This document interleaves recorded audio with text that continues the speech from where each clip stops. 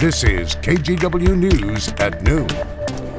And now at noon, we're tracking two big stories today. Snow across the Portland Metro has created slick road conditions and a slew of crashes during the morning commute.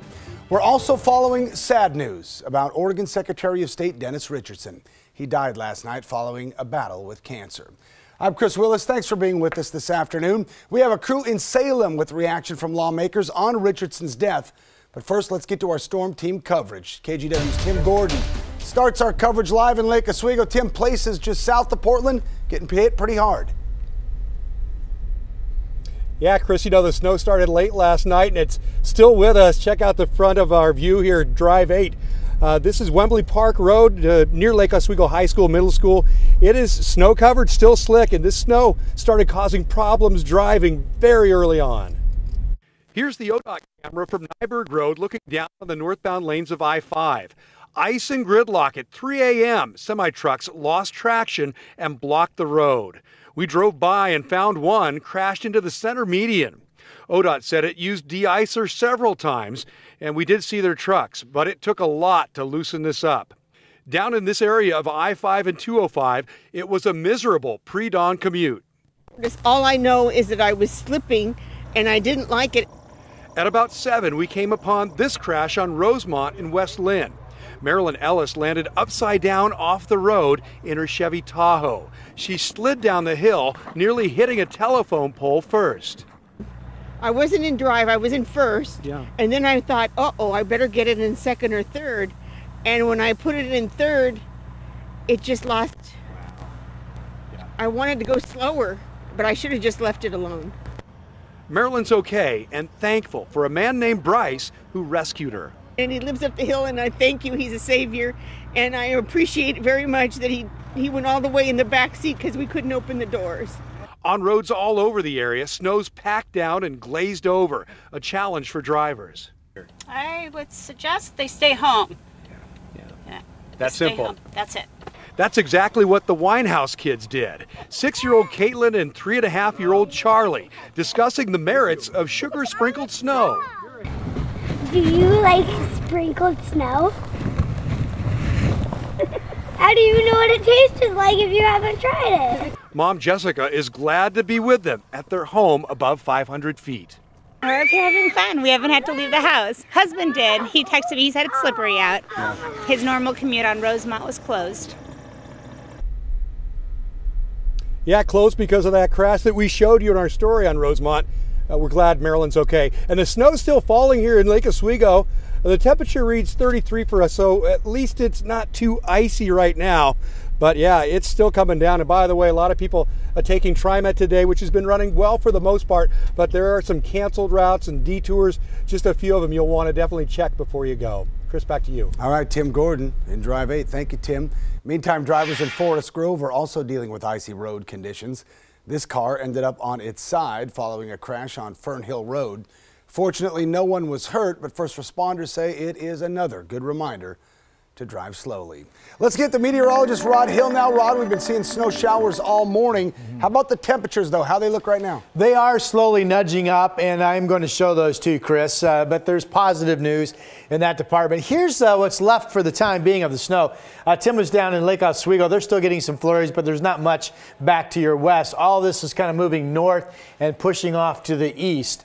And even uh, out um, near 205 in areas east out toward Powell in the Gresham area, I've been checking and the cameras out that way show none of the snow is sticking on the ground, maybe some grass, and that's about it.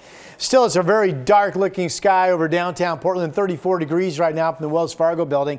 And here are those temperatures so 35 in downtown, West Linn now up to 34, Battle Ground, Vancouver 34. It's snowing in Gresham 32, but the cameras I'm looking at, again, when I'm out around Powell, not showing the snow is sticking. And then right now we have dry conditions, 33 in Beaverton and 33 in Hillsboro. Not much above freezing, but with icy roads, every degree counts, right? 34 in Salem and 34 degrees in Keizer. So for this afternoon, temperatures slowly nudge, at least mid 30s maybe upper 30s. We could be 38, for example, at 4 p.m., but then getting back down close to freezing quickly once the sun goes down. And remember, we still have more snow showers coming in overnight tonight. what that could mean for your Thursday morning coming up on my complete forecast. All right, we'll see you then. Thank you, Rod. As if those driving conditions aren't bad enough, thousands are still without power this noon in the Montavilla neighborhood of southeast and northeast Portland. Businesses there unable to open, many residents without heat as they wait for the power just to come back on. More now live from KGW's Keely Chalmers along East Burnside and 82nd. Keely, we can see the traffic lights behind you are out. Yeah, they are out and they have been since shortly after 4 o'clock this morning. That's when a Pacific Power transformer in the area blew. At one point, more than 4,500 customers were without power out here. Now, crews have slowly but surely been restoring power to chunks of the area, but they say they likely won't have all the power restored until about 3 o'clock this afternoon, which means a lot of folks still waiting for their lights and their heat to come back on.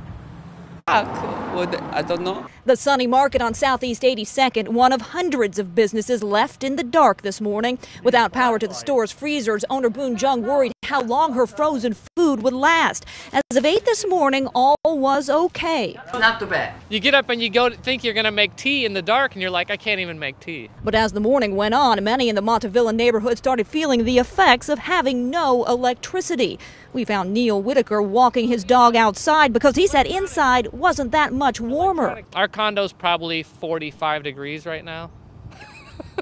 Can't quite see our breath in it yet, but it's drop, you know, it's dropping, dropping, dropping. Our heat is not working right now. Our stove is electric and all that, so uh, I think it's pretty bleak. Unable to cook any food at home, Cal Angus went out looking for open restaurants this morning with little luck. It looks like this whole side is out. I've just been uh, sweeping in the dark, uh, getting deliveries. Inside Redwood Restaurant on Southeast Stark, owner Susie Blue prepared for her morning brunch. Boiling some potatoes uh, to make hash browns. In the dark. Luckily, her stove runs on natural gas. I have the ovens on to try to generate a little bit of heat and uh, had some stuff in the oven and boiled some water so I can make some coffee. And just trying to hang tight until the power comes back on. Pacific Power initially said the power would be back on by 10 o'clock this morning, but 10 came and went, and many were still left with no electricity. It's incredibly frustrating. Waiting and hoping their lights come back on and they can get back to business. Every shift, we depend on the income from that, so it gets, it gets a little tight. Yeah, Portland police remind drivers when they come to an intersection like this one with a traffic signal out to treat it as a four way stop. And with the snow still coming down and the temperature still very, very chilly, it's more important than ever to be cautious out here on the roadways. They could be slick. Now, Pacific Power is still investigating the cause of this power outage, but it says it was likely weather related. Back to you. All right, Keely Chalmers live. Thank you, Keely. And here's what it looked like in Salem overnight. You can see flakes falling and the roads pretty much covered with a thin layer of snow. It didn't stop people from getting out, but the cars and trucks were going pretty slow. Look at them there with their hazard lights flashing. Snow plows were also spotted driving around and getting ready to clear the roads. A lot of you are sharing your snow photos with us. Here are a few we're going to share with you. Shani sent this one in from Redmond, says this is what a real snow day looks like, three feet and counting. Not everyone excited about the snow though, but this dog definitely is. Margot says that feeling when you are an Alaskan Malamute and you wake up to snow. Excited. This might have to be our favorite photo though. That's Petunia the pig all bundled up for the snow. You can share your pictures with us always by using the hashtag MyKGW. And you can stay up to date on the forecast and the winter warnings by downloading our KGW Portland weather app. It's free for all Apple and Android devices. Now to some sad news we told you about at the top of this newscast. Oregon Secretary of State Dennis Richardson passed away at his home last night, surrounded by friends and family. He was 69 years old. Richardson had announced that he had been diagnosed with brain cancer last year. KGW's Kyle Iboshi joins us now with a look back at his life and legacy. And Kyle, Richardson's career in politics spanned nearly 20 years. Indeed, Chris. Richardson rose through the ranks, becoming the first Republican to hold Oregon Secretary of State's office in nearly four decades. Dennis Richardson lived a life of public service. He served his country in Vietnam as a combat helicopter pilot. After settling in Central Point, Oregon, he first got into politics in 2000. Three years later, he took office in Salem and served six terms as a state representative. He reached the powerful position of co chair on the Joint Ways and Means Committee, helping the state out of a budget deficit. This is our time to change the course of our state. That's when Richardson nearly made history. He took on Governor John Kitzhaber in 2014. Richardson only lost by three percentage points. He would have become the first Republican governor since Vic Atiyeh in the 1980s. As long as I've done my best, that's all I can do.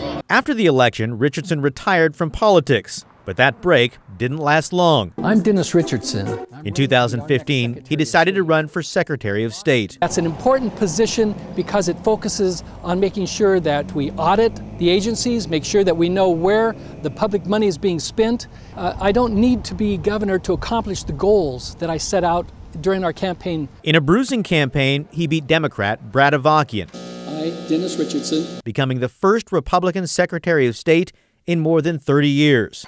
He promised to use the powers of his office for everyone, regardless of their politics. As the Secretary of State, I will be functioning as an Oregonian. And it's my commitment that you will not know whether I have an R or a D behind my name. Then in 2018, Richardson went on Facebook and told Oregonians about his diagnosis of brain cancer. The primary concern is for my current health, and uh, I've worked out uh, today, and I've uh, been able to be able to uh, join in the efforts of uh, helping my grandkids. Richardson stepped back from public events and wasn't seen during the 2018 election. Earlier this month, his office announced he was scaling back his work and would spend less time in the office. Richardson was a devoted family man. He enjoyed spending time with his kids and grandkids, especially around the 4th of July when they all got together. Richardson said his best job ever was being a grandpa. He passed away at his home in Central Point Tuesday night, surrounded by family and friends. Oregon Governor Kate Brown has ordered flags at half staff today and on the day of his funeral. Back to you. All right, sad news, Kyle. Thank you. And Maggie Vespa is live for us in Salem now with reaction to Richardson's death. And Maggie, people were reaching out within an hour of hearing that he'd passed. Oh, Chris, it happened right away. A lot of people wanting to tell us about the late secretary's public service and about his personality. And then, you know, we got down here, and on top of all of that, people told us they're really in shock today. They obviously knew the secretary was ill, but they didn't know this day was imminent. A somber day in Salem where flags are lowered and the Secretary of State's office is quiet. Staff sat inside, too sad for interviews. Telling us off camera, Dennis Richardson will be greatly missed. I don't think one is ever ready, so I'm not going to say I was ready for that call. His friends and colleagues found out hours ago. Well, I got the news about it this morning and uh, was shocked. You know, I think we all knew how serious the situation was. But still, when it happens, it kind of brings you up short. The House GOP leader calling the career public servant a folk hero. It takes a lot for a Republican to be elected to statewide office these days, and he did it. And I think a lot of it had to do with who he was. He was very calculating. He was one uh, person that didn't uh, jump to conclusions. That cool head, perhaps a result, they theorize, of Richardson's time in combat. What he did in Vietnam as a helicopter pilot, that was a very, very dangerous job. And, uh, and he survived, and he came back, and he didn't make a deal out of it. And the real heroes don't make a big deal out of it. Tales of his humility, a common thread. He was always concerned about Oregon and, and Oregonians. Legislative leaders and political rivals also paying tribute today. Senate President Peter Courtney writing Richardson, quote, was dedicated to his faith and family, his community, and his country. He was dedicated to Oregon. He was a budget hawk. He cared about people I will miss him. Attorney General Ellen Rosenblum called the secretary the quintessential public servant. At our last lunch, he gave me a coin with his motto engraved on it Having been given much, what will you give in return? I will treasure it always, she wrote. And Governor Kate Brown writing, quote, regardless of what side of the aisle his colleagues sat on, we all knew Dennis's kind heart guided his career of service to the people of Oregon. And we have more statements, by the way, on our website. And the governor, for her part, wrapped up her statement by acknowledging that she now has the task of choosing Oregon's next Secretary of State because, in large part, we're going to show you this graphic here looking at the line of succession in the gubernatorial line of succession. The Secretary of State is first. After that, it's the state treasurer, and so on. And keep in mind, Kate Brown was Secretary of State when then Governor Kitzhaber resigned in 2015. Governor Brown said she will make her selection in the coming weeks, and per state law, she does have to choose a Republican. Chris, back to you. All right, Maggie, thank you for that. Live from Salem. Meantime, Oregon lawmakers in the nation's capital are also paying their respects on social media. Republican Representative Greg Walden says Richardson was a kind, caring, and thoughtful friend. Democratic Senator Ron Wyden also offering his condolences. Senator Wyden says, I so appreciated standing with him at services of the Oregon Fallen War Heroes Memorial in Central Point, which Dennis's work made possible. We'll continue to follow this sad news of Richardson's death, both on the air and online. You can read more about Richardson on our website at kgw.com.